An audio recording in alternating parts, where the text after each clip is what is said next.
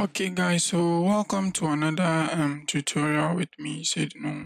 This is basically AutoCAD architecture as you can see. And today what we are doing is we are creating walls for our project which we started last week. So if you have not watched the video on any of them, you can check it out. We started with creating the project and then making the grid lines. All is done. So and we did the foundation as well. Yes, we did the foundation as well, so you can check all of them out. And then let's continue. We're going to continue with walls. And for the walls, we have only our ground floor. So we just open our ground floor and let's get going. Easy and simple. Okay, so with our ground floor, we are going to, you know, um, bring in our grid lines and our foundation because we'll be building on that. So now let's just bring in our grid lines. So xref overlay. We have our grid lines. You xref the, the one you've done and it comes into the new one you're doing. Then you continue.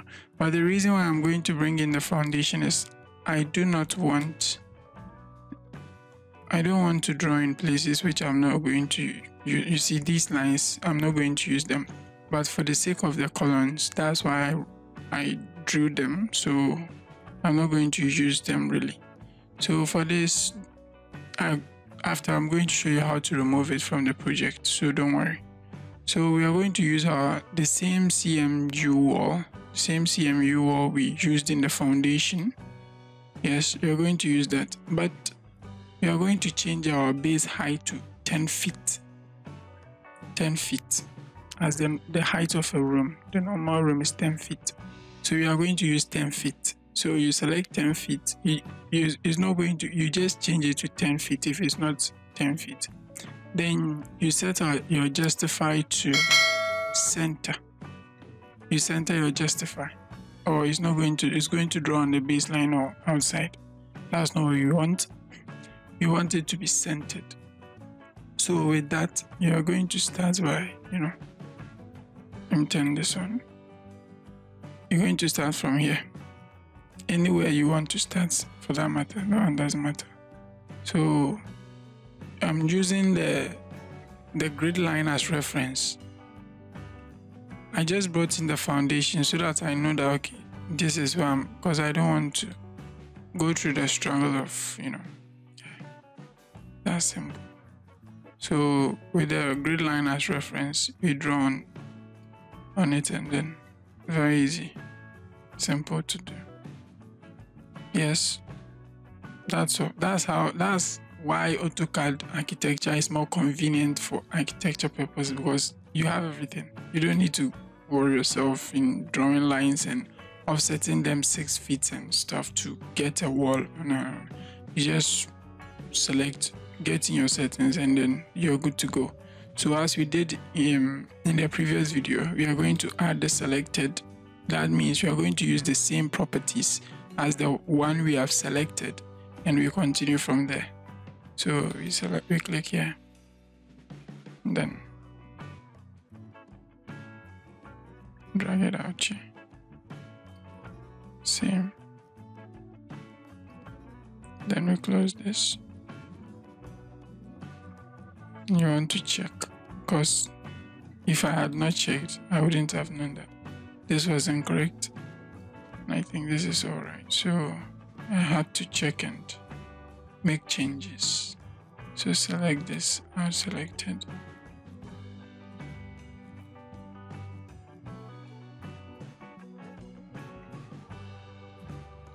It's very easy to do. You just need to, you know, try start practicing try your hands on it in, in no time you're going to get the hang of it. It's not any difficult thing to do.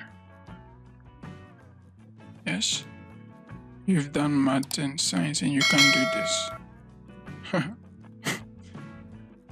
this. This is very simple. Learning learning on the computer is very very simple. If and only if they would allow us do this at our schools here or learn on the computer in the in the schools here, I think it will be profitable because the hustle of going to the classroom and in tortoise somehow just going going to the classroom is a whole thing on its own and so after doing everything let's go to the 3d and see what we did what happened so going to the 3d let me change this to conceptual. So this is our rooms divided. Divided we stand. Now divided before sorry. Okay so this is the the walls and the rooms. We are going to edit it and give it give the spaces and give it names so that we know that okay this is the, the that, that. But for now let me explain something. We're going to have this the living room. This is going to be um, an opening. An opening does not have a door. It's just an opening. You just but it's going to have a bit of blocks one inch blocks around it. Yes but it's going to be an opening. And we are going to take this out. We are not going to use this. So i'm going to delete it so that we can have our kitchen here and then the dining hall will be set here but a countertop will be around here we're going to have a countertop. So this wall is going to be out. This wall is also going to be out. Yes. So we're going to have but i'm contemplating if i should clear all these walls so that we have you enter the room or you enter the room from either side. You have your living room here your dining set at the back of your at the back of the you know sofa or yes then the kitchen comes back then we have our dining hall here kitchen here then the bedrooms so that i'm just contemplating so if if you have an idea or what you want us to do, you can you know, leave it in the comment section. Tell me, okay, we should do this, we should do that. But for now, I'm just contemplating. I would know what to do later on. So I don't want this video to be that long and you know boring. So I want it to be very very short and simple. That's why I'm cutting everything out. So with this I will end today's video. See, we have our foundation here on top of this. So as you build, it's going to be on top of each other like that. That's how the whole thing is. So with this, I'll end today's video. My name again is Seduno. If you've not subscribed to the channel, do subscribe.